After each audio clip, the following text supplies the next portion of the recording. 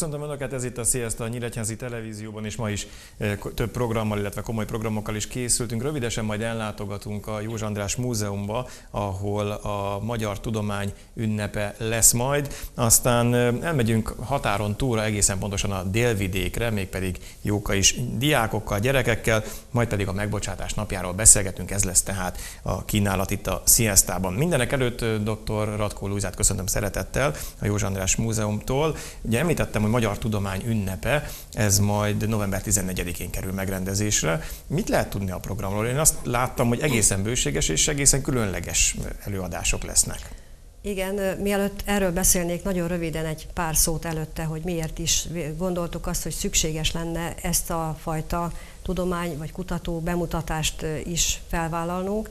Az utóbbi másfél évtizedben eléggé jelentős változások történtek a múzeumok területén. Ezt gondolom a közönség is észrevehette.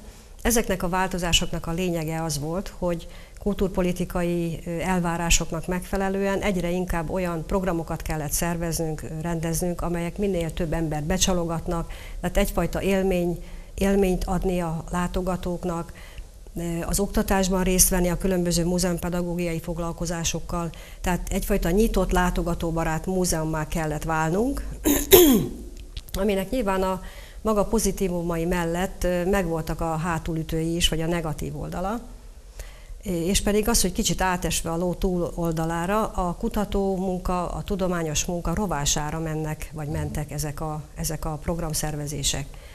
Hogy ez mennyire égető probléma a mi kulturális területünkön, azt mutatja, hogy ez év elején a Déri Múzeum egy országos konferenciát rendezett, aminek nagyon sokat mondó a címe, ugyanis az volt a címe, hogy kulturális wellness vagy tudományos kutatás.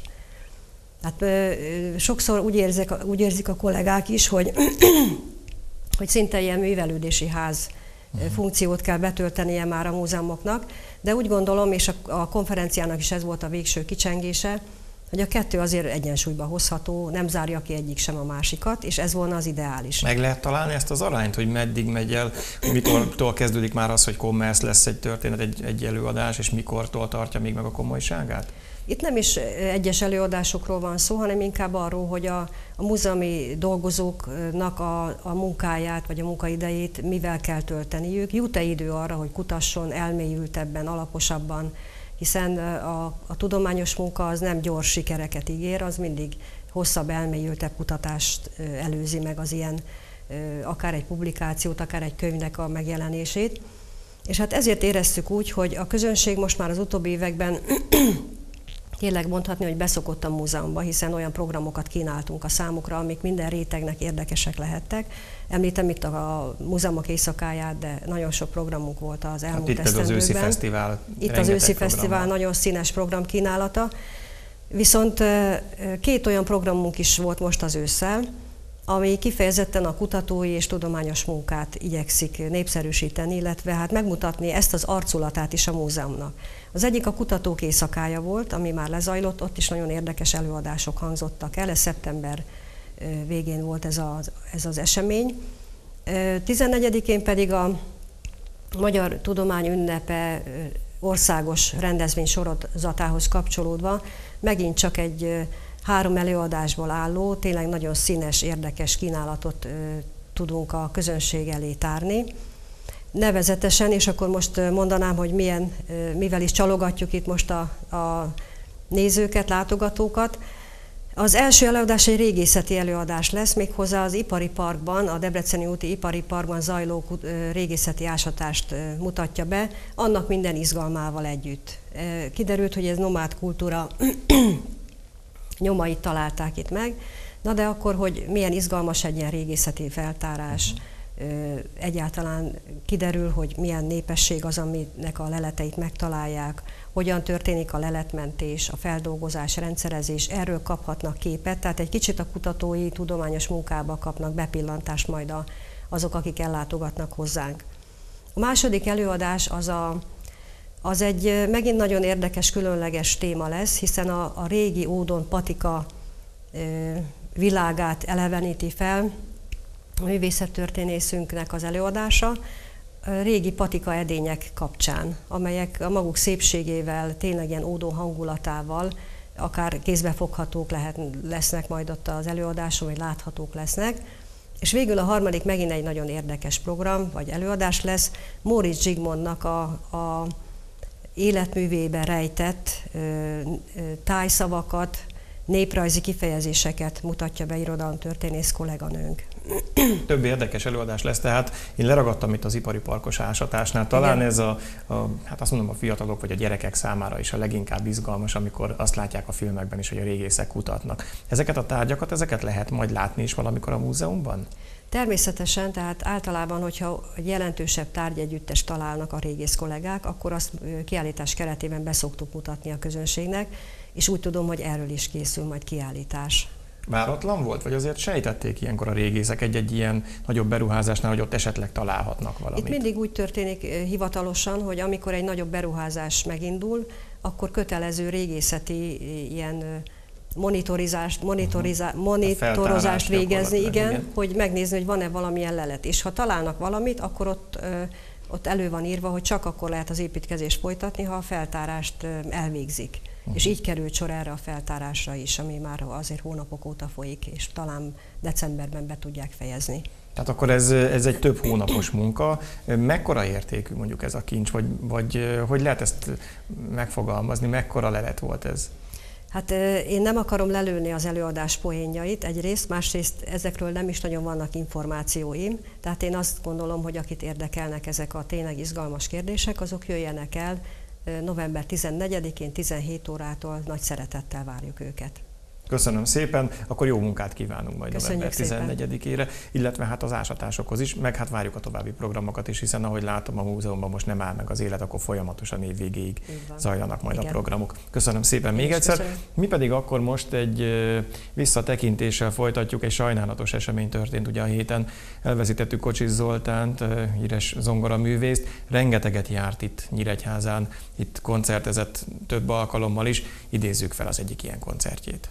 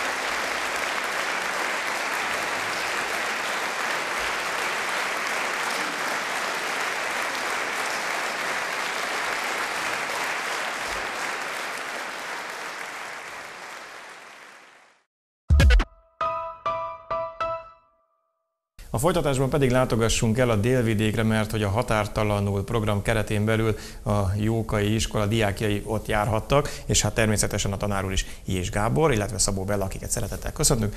És hát én láttam egy-két fotót erről az útról, ott szemmel láthatóan mindenki nagyon mosolygott. Valóban ilyen volt a, a, a túra, ilyen volt a, a kirándulás, hogy, hogy jó hangulatban, nagyon szép időben telt?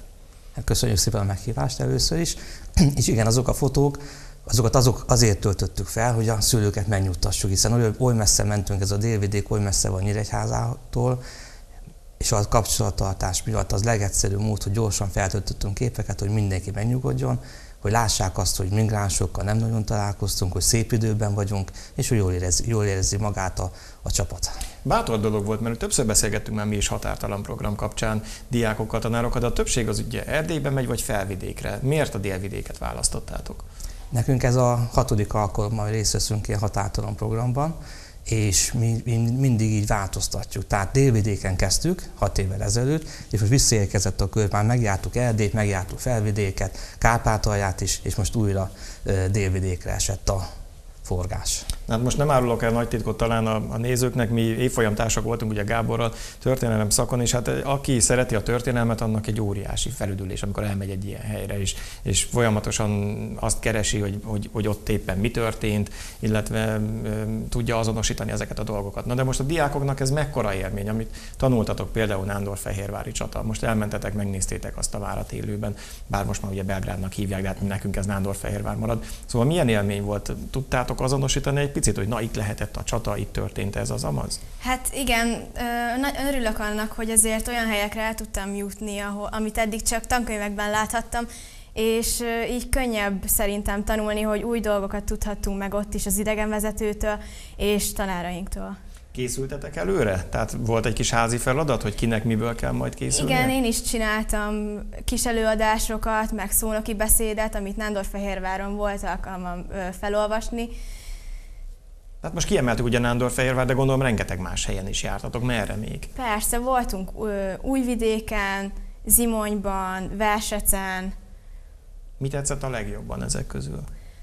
Nekem leginkább Versec, mivel ott a templom is nagyon gyönyörű volt, és az orgonát is volt alkalmunk kipróbálni, de Érsomjóvára volt, ami úgy nagyon megfogott, mivel gyönyörű volt a kilátásod, de a főpont az Nándorfehérvár volt, mivel azért ott történt az a csata, ami Magyarországnak szerintem fontos. Sőt, hát egész Európának fontos volt ugye az a, az a csata annak idején. Itt a helyszíneket ti választjátok ki, vagy egy megfelelő program alapján haladtok? Hát én vagyok az a szerencsés, aki a programot összeállítja, Igénybe veszünk ehhez egy utazási irodát, és aki segít a programok lebonyolításában, de maga az, hogy hol megyünk, azt általában én szoktam összeállítani, és mi ugye történelmi beállítottságú vagyunk, ezért előnyt élveznek a történelmi helyek, de mivel most volt velünk két földre szakos kolléga, ezért elvittük őket például a Derébláti homoksivatagba, és hogy nekik is kedvezzünk egy picikét. De egyébként tényleg a csúcs, az másodszor is, hiszen én már másodszor vagyok itt délvidéken, az Nándorfehérvár volt. Ilyenkor az ember egy picit előveszi a hat évvel ezelőtti emlékeket, és akkor felülírja, hogy ide most inkább nem megyünk, mert az nem volt annyira jó, de ide meg érdemes, mert azt meg kihagytuk, vagy kevesebb idő jutott rá, tehát akkor ott tudtatok már ebből építkezni. Ez pontosan erről szól. Tehát ugye hat évvel ezelőtt bejártunk egy útvonalat, akkor eljutottunk egészen az Aldunáig is, oda most sajnos nem, de most betettünk olyan helyeket, hogy, hogy a más kollégáknak is kedvezünk egy picit. Tehát most mondom, tehát most földrajzi szempontok is előtébe kerültek, meg egy kis irodalmat uh-huh. becsempésztünk. Gábor, te mit tapasztalsz? Mennyire fontos az, hogy ők most ilyen fiatalon megismerjék az egykori Nagy Magyarországnak a területeit? Számomra ez a legfontosabb, hogy azt érezzék a gyerekek, mikor eljutnak oda, és mikor hazatérnek, akkor azt mondják, hogy Kárpátalján jártunk, Erdélyben jártunk, Felvidéken jártunk, vagy Délvidéken jártunk. Na azt mondják, hogy Ukrajnában, Szerbiában, stb. Tehát megtapasztalják azt, hogy ott a, hát ez a, a határotúra a történelem vőhelyébe sodródott magyarok, ott is élnek magyarok, akiknek sokkal nehezebb magyarságokat megőrizni, mint itt az anyaországban lévő gyere, maradottaknak, hogy ezt tapasztalják meg a gyerekek, ott is találkozzanak olyanokkal, olyan, ifjús, olyan korúakkal, mint ők maguk is, hogy lássák, hogy ők milyen körülmények között élnek, és ebben is volt részük. Azt hiszem erről is talán Bella lehet, hogy tudna mondani, mert ez is egy fontos élmény volt számukra, hogy ott találkoztak pont hetedik évfolyamos gyerekekkel. Ilyenkor egy kapcsolatok is szövődtek? Tehát Igen, akár tartjátok is egymással sokkal a most is tartom a kapcsolatot, ami szerintem jó dolog azért, mert például megtudhattam tőlük az ottani oktatás milyen, és hát sokkal nehezebb. De nehezebb? Nehezebb. Na várjál, mi sokat panaszkodunk erről, hogy sokat kell tanulni, akkor ott még többet kell ezek szerint? Ott egyszerre tanulnak angolt, németet, magyart és szerbet, és ráadásul nincsen nekik 15 perces szünet, csak 5 perces, ami hát nem tudom, én nem tudnám elképzelni. Akkor ehhez képes felüdülés volt hazajönni, és azt hogy jó, de jó, Igen. nagy szünet, 20 perc, ebédelhetünk, stb. Mennyire fogadtak titeket szívélyesen? A vendégszeretet az kiváló volt, szóval ők is nagyon örültek nekünk, hogy mi elmentünk hozzájuk. Ami még visszatérve az iskolához, ami meg, meghatott engem, hogy volt egy olyan lány, aki nem úgy beszélt, hogy Magyarország, hanem inkább anyaország, és ahol elszállásoltak minket, ott is így beszéltek róla, és szerintem ez nagy dolog nagyon nehéz lehet nekik. Tehát ugye egy idegen országban élnek tulajdonképpen, de tartják a magyarságukat. Ez ilyenkor egy picit az embernek erőt ad, én ezt tapasztaltam legalábbis Erdélyben, hogy, hogy hát most csúnya kifejezéssel élve ők lehet, hogy sokkal magyarabbak, mint mi vagyunk idehaza, vagy nem tudjuk ezt, ezt úgy átélni, hogy, hogy mennyit kell naponta küzdeniük azért, hogy megtartsák ezt a magyarságot. Tudtok nekik esetleg ebben ilyenkor egy kis hitet adni, egy kis segítséget, hogy elmentek oda, és akkor már csak ezzel is, hogy kapcsolatot tartotok? Hát csak bízunk ebben, hogy tudunk adni.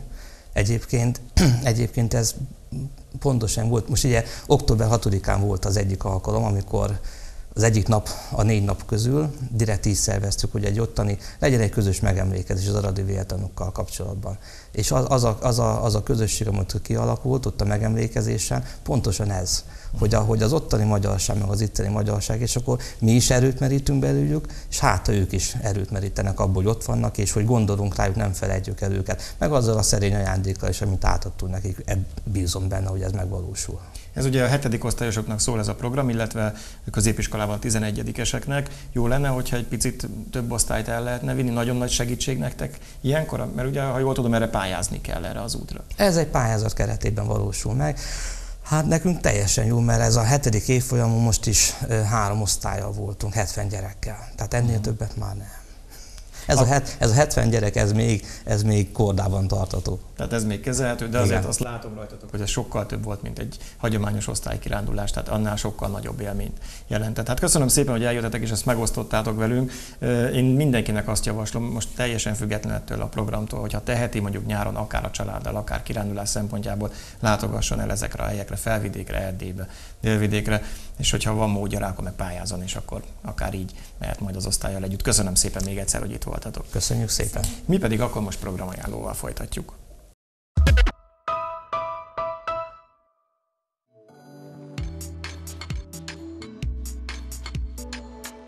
November 15-én 17 órai kezdettel Humor és Irodalom címmel Erdei Sándor Debreceni költő újságíró tart előadást a Bencsvillában. November 16-án 15 órától Szerelem és szexualitás címmel dr. Jászberényi József előadására várják az érdeklődőket a Kelet-Magyarországi Szépkorúak Akadémiája keretében. Helyszín Váci Mihály Kulturális Központ.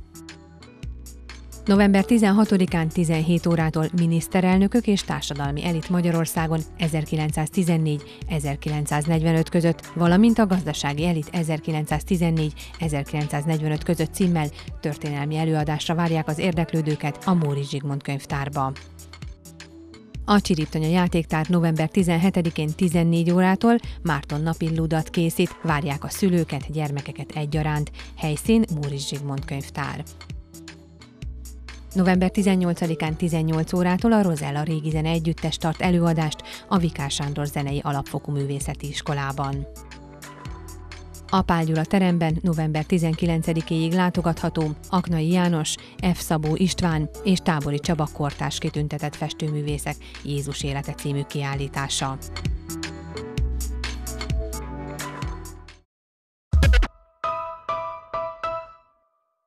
Egy különleges dologgal folytatjuk. November 19-e ugyanis a megbocsátás napja.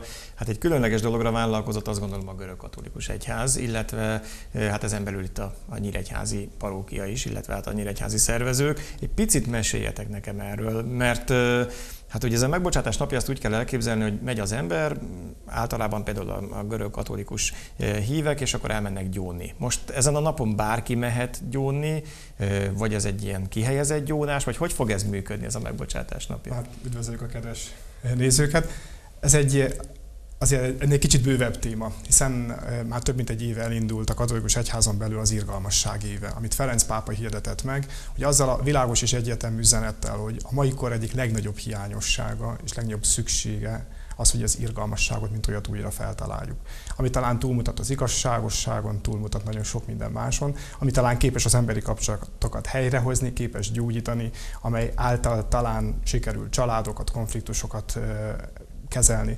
Tehát innen indul az egész történet, és ennek lesz a zárása november 20-án Rómában és a különböző nagyobb helyszíneken, ennek az irgalmasság évének, és ezért gondoltuk azt, hogy mi még az utolsó napokban egy nagyon tudatos tematikus napot építünk ki, aminek a megbocsátás napját nevet adtuk, aminek tényleg az az alap elképzelése, hogy lehetőséget, teret és időt nyújtsunk az embereknek arra, hogy egyáltalán ezt a dolgot átgondolják, nekik szükségük van rá, vagy milyen esetben van, illetve ennek a évszázadok óta intézmény, intézményesült formáját, a Szent Gyónást is, mint lehetőséget felajánljuk.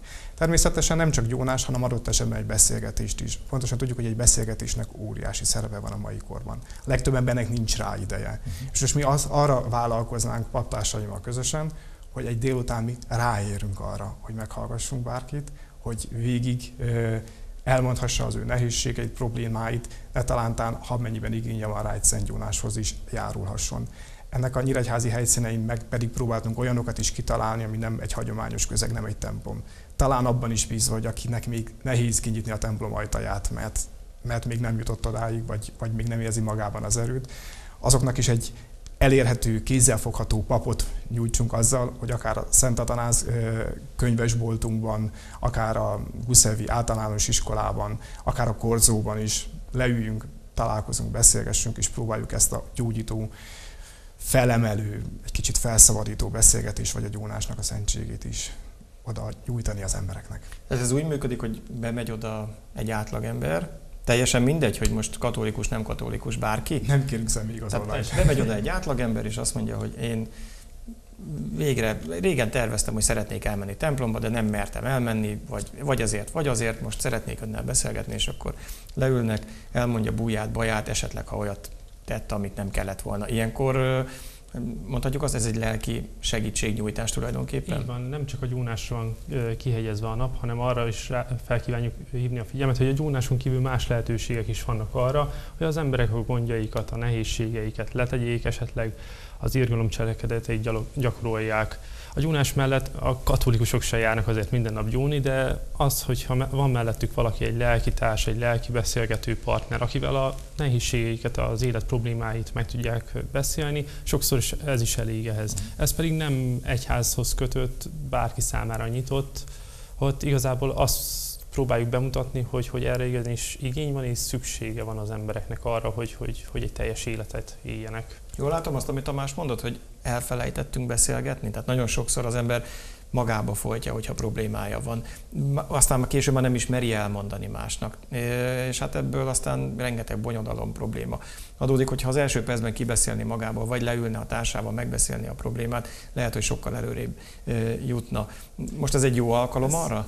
Teljesen erről szól. Tehát én gyakorló papként pontosan látom azt, hogy egy ilyen segítő beszélgetésnek mekkora ereje, szerepe van, mekkora felszabadító hatása van az emberekre. Én tudatosan próbáljuk azt, hogy még az irgalmasságnak a testi cselekedeteit azért helyek közel mindenki megéli, főleg ilyenkor karácsony környékén. Hál' Istennek mindenkiben a szociális érzékenység előrébb. Igyekszünk jobbak lenni, segíteni, konkrét adományokkal, tartós élelmiszergyűjtéssel, meg hasonlók, de mindig tudjuk, hogy ezeknek van egy nagyon komoly lelki háttere is. És míg, míg a testről nagyon sok energiát tudunk, vagy testre odafigyelni, addig a léleknek azért nagyon komoly kívánságai is, kérései vannak, és nagyon sok ember esetében azért ez, ez, ez tényleg hiányzik. Hát ki az, aki meghallgat engem, amikor a nehézségeimről? Ki az, aki, akinek elmondhatom, hogy mivel küzdök a saját magam gyengeségei kapcsán? Ki az, aki, aki képes engem tényleg odafigyelő szeretettel meghallgatni. Azért ennek van egy nagyon komoly isteni vonzata. Van az a többlet, ami, ami, ami szerintem sokak számára tényleg segítség lehet. És most tudatosan próbáljuk ez a külső helyszínekkel azoknak is megadni ezt a lehetőséget, akiknek talán sérülései, rossz tapasztalatai, vagy hamis sztereotípiák miatt azért nehézségei vannak azzal, hogy most ő leüljön egy pappal. Itt talán egy kávé mellett, vagy, vagy esetlegesen egy beszélgetés formájában, hát ha tudunk olyan régi sebeket szépen helyre rakni és meggyógyítani, amivel talán könnyebb lesz akár csak egy karácsonyi időszaknak neki indulni, vagy akár a saját életét megélni. Ez az egyik oldala igazából, amire most hívunk mindenkit. A másik oldalát pedig átadnám azért Norbinak, hiszen ennek egy nagyon komoly, úgy is mondhatnánk, anyagot próbálunk összegyűjteni, és az interneten elérhetővé tenni sokak számára. Hiszen úgy gondoljuk, hogy megint csak egy nagy kérdés, hogy ha azt a szót feltesszük, hogy mi az, hogy gyónás, az emberek nagy része nem biztos, hogy tud rá válaszolni. És bízom benne, hogy sok emberben azért kérdésként felmerült. Mi az, hogy megbocsátás, mi az, hogy irgalom. Ezért olyan szavak, amiket használunk, de amikor konkrétan a saját életemre kell hasz, alkalmazni, akkor bizony talán inkább kérdések, mint sem válaszok születnek. Ezért próbáljuk egy Facebookon, illetve egy honlapon egy tematikus oldallal ezzel Furcsa, amit most mondasz, mert nem ezt szoktuk meg ugye a hagyományos történelmi egyházaktól, hogy Facebook, Facebook, meg internet, meg stb. Ez egy óriási nyitás, én azt gondolom a fiatalok felé is, hogy ha más nem, legalább egy ilyen alkalommal egyáltalán kapcsolatba kerüljenek Istennel, vagy megismerjék Istent. Tehát mondhatjuk azt, hogy ez, ez nekik is egy jó alkalom lehet A fiataloknak is, de ugyanúgy az egész társadalom számára, hiszen pont egy, egy fordított logikát alkalmaztunk eddig, hogy azt vártuk, hogy hír, meghirdettünk programokat, és vártuk, hogy majd az emberek bejöjjenek. Mm. Na most erre már azért nem nagy vevőközönség van, muszáj nekünk kimozdulni, és muszáj a másik oldalt megmutatni, hogy, hogy igenis mi képesek vagyunk párbeszéd folytatására veletek.